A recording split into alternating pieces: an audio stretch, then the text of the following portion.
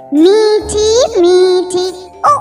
से उल्लू बड़ी आँख वाला ऊ से ऊन, स्वेटर बनाता रे से ऋषि, तपस्या करते ए से एक तारा बच्चे बजाते, ऐसे ऐरावत इंद्र का हाथी, ओ, से ओखली मसाले कूटे, और